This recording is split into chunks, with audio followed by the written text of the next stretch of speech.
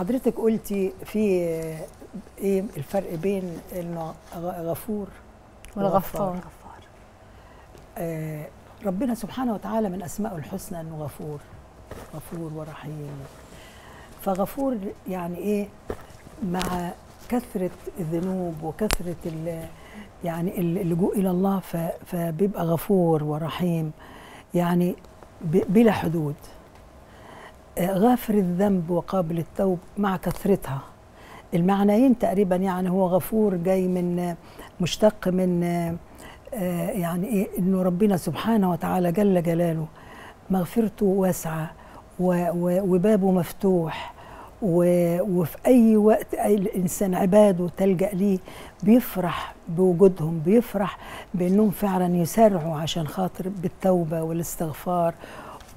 فربنا جل جلاله فعلا هذا الباب المفتوح مفتوح للعبد لغاية ما العبد روحه كده تغرغر يعني لغاية ما يلقى الله سبحانه وتعالى.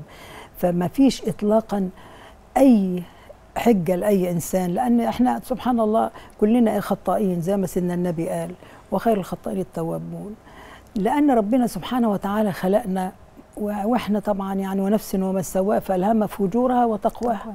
عندنا يعني النفس اللوامة عندنا النفس الأمارة بالسوء عندنا النفوس المتقلبة دي فمحتاجة دايما زي ما بنقول كده يعني أي حتى أي حاجة في الدنيا محتاجة إنها تتنظف محتاجة إن إحنا يعني لو حتى سافر الإنسان في أي مكان كده وغاب أسبوع الاسبوعين بيرجع مع ان موضب البيت وسايبه نظيف لكن يرجع يلاقي برضه في تراب في حاجة.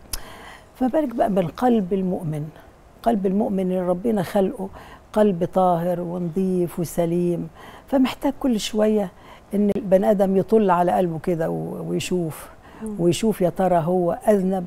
لأن أي ذنب بيبقى زي ما شبه لنا العلماء بيبقى بيدي أي ذنب بيدي زي نقطة سودة كده على القلب. أيوة. ما كناش بسرعة نرجع و- و- ونشيل سبحان الله بالإستغفار ننظف أول بأول. فلا قدر الله يحصل ران ويحصل بقى يعني زي زي المرايه كده لما تحط فيها حاجة حاجة نقطة ورا نقطة ورا نقطة تعمل حجاب. صحيح. صحيح. والمؤمن المفروض بيرى بنور الله ليه؟ لأنه تواب على طول يعني ي- يلجأ إلى الله هو اللي خلقنا.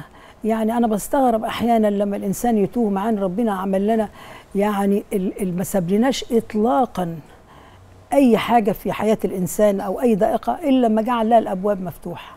لما الإنسان يغلط يجري يسارع على طول يسارع عشان خاطر إحنا ملناش إلا ربنا ربنا أقرب إلينا من حبل الوريد. صحيح. أنا بستغرب لأي إنسان يبقى في ضائقه يدور على حد يشتكي له يدور على حد يقول له نشتكي الله لخلق الله؟ لأ.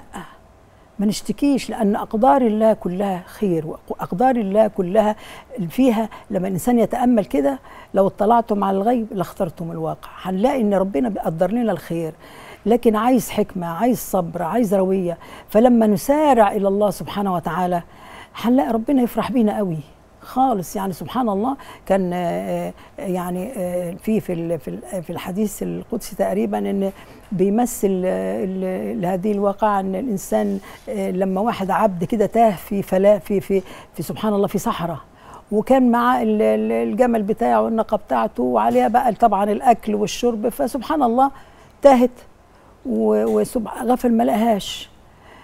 انت متخيلة بقى انسان خلاص يعني حس ان كل حاجة ضاعت من حياته. أيوه. كل يعني اللي الناقة اللي هتنقله الأكل الطعام الشرب فيأس خلاص قالت كده وقعد كده وبعدين يعني قعد ينتظر الموت كده وغفل شوية ففتح عينيه لقى سبحان الله ال- ال- الراحله بتاعته موجودة والأكل والشرب فمن كتر فرحته قال اللهم بدل ما يقول الله انت اللهم انت ربي قال اللهم انت عبدي يعني من كتر ما هو يعني في لهفته فغلط. فسبحان الله شوف فرحته من فرحته. الكلام ما أسعفوش. أيوه. أنت متخيلة هذا المثل بيقول لك ربنا أفرح بالعبد اللي بيلجأ له من هذا الرجل. يعني الراجل اللي ضاعت منه كل حاجة وبقى وصل لمرحلة اليأس خلاص. لكن لما ردت ربنا رد له كل يعني كل حاجاته فشوف فرحته الكبيرة شوف ربنا سبحانه وتعالى هذا المثل بيضرب إن ربنا بيفرح بتوبة عبده أبيه بيفرح إن إن الإنسان الرجاع اللي اول بأول كده سبحان الله يستغفر ويتوب ويقعد كده يعني النفس اللوامة بتعمل إيه؟ بتقعد تحاسب نفسها. أنا عملت لي كده أنا قلت لي كده.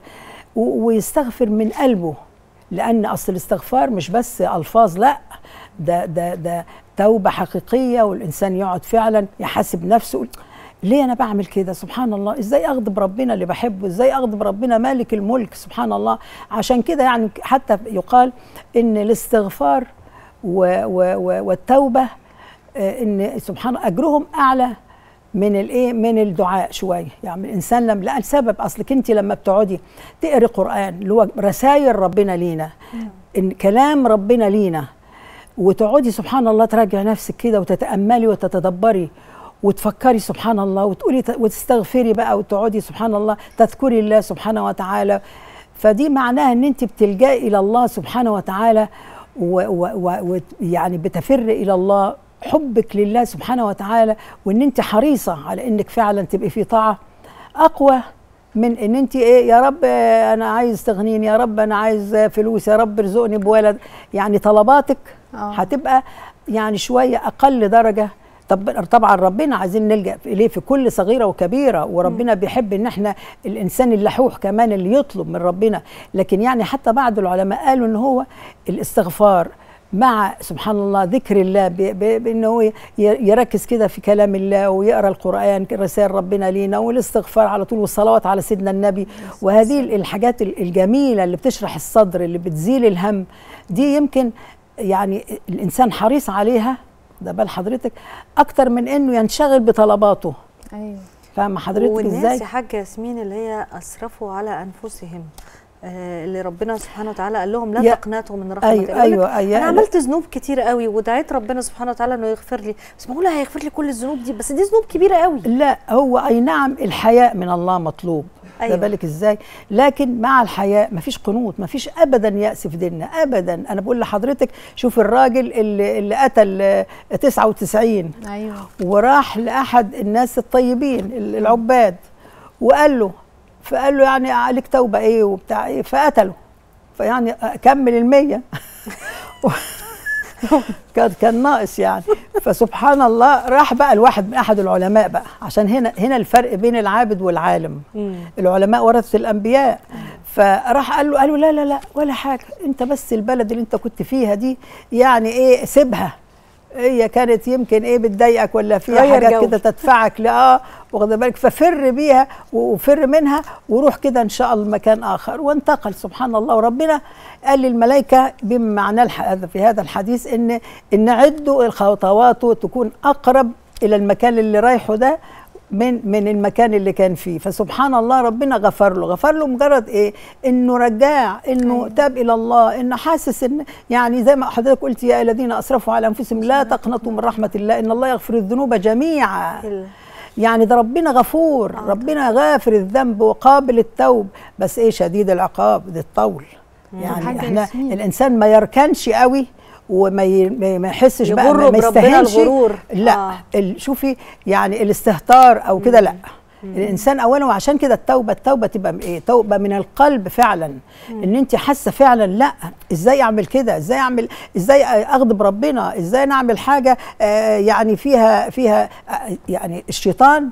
يعدكم الفقر. دايما الشيطان أصله ده هو اللي دافع لكل سيئة. هو ده بتوعد الإنسان بتوعده سبحان الله.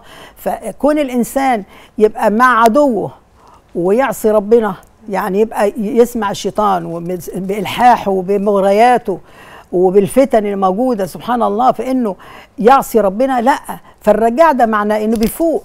بيفوق إيه؟ ويرجع بقى للقلب القلب النظيف القلب السليم لأن ربنا سبحانه وتعالى مطلع على هذا القلب. وعايزه دايما كده نقي وصافي وسليم إلا من أتى الله بقلب سليم.